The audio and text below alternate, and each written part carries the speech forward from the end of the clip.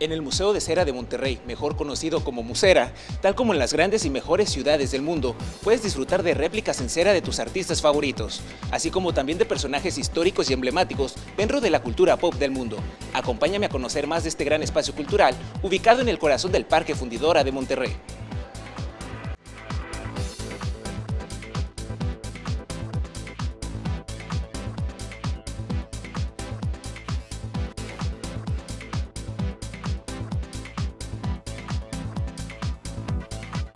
El recorrido, con una duración máxima de 45 minutos, comienza con una explicación histórica de las instalaciones en las que se montó el museo,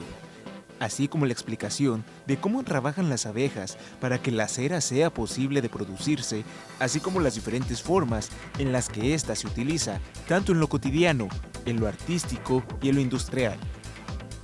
Durante la introducción se presentan datos curiosos e importantes de las abejas y sus producciones, así como el proceso en el que se diseñan las réplicas de cera de los artistas, presentándote paso a paso el cómo se empieza la producción de las figuras.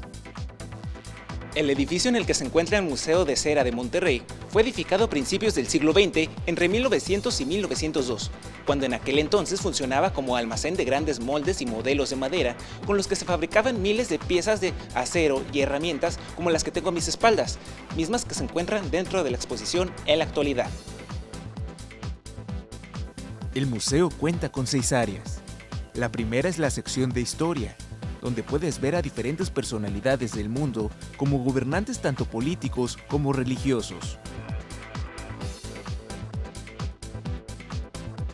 El área infantil es la que le hace segunda a esta sección, donde vemos personajes emblemáticos de películas desde Disney hasta DreamWorks, así como intérpretes infantiles con los que todos hemos crecido, además de poder disfrutar de superhéroes y villanos, todo para los pequeños de la casa.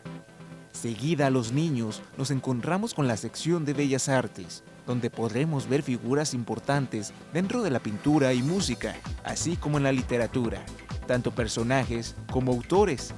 al finalizar esta sección, se podrán encontrar con una pequeña galería de dos grandes pintores mexicanos. En la segunda parte del museo podemos empezar disfrutando el área de deportes, donde vemos figuras del boxeo, así como astros futboleros, incluso grandes íconos de la lucha libre mexicana. Esta sección tiene de vecina al área de miedo,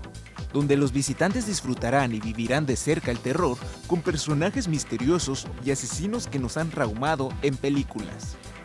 Por finalizar nos veremos rodeados de estrellas y luminarias del mundo en el área de espectáculos,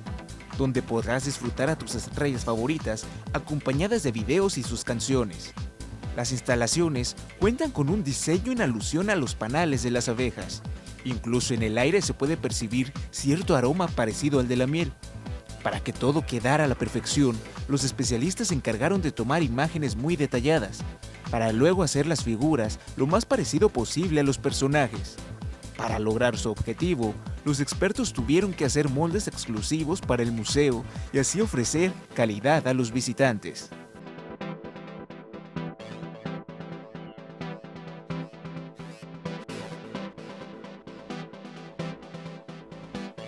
El Museo de Cera de Monterrey se encuentra ubicado junto al área del Centro de las Artes en el corazón del Parque Fundidora, con horarios de 9 a 21 horas de lunes a domingo todos los días del año, con imágenes de Francisco Ríos para Canal 28 Televisión Inteligente Francisco Garza.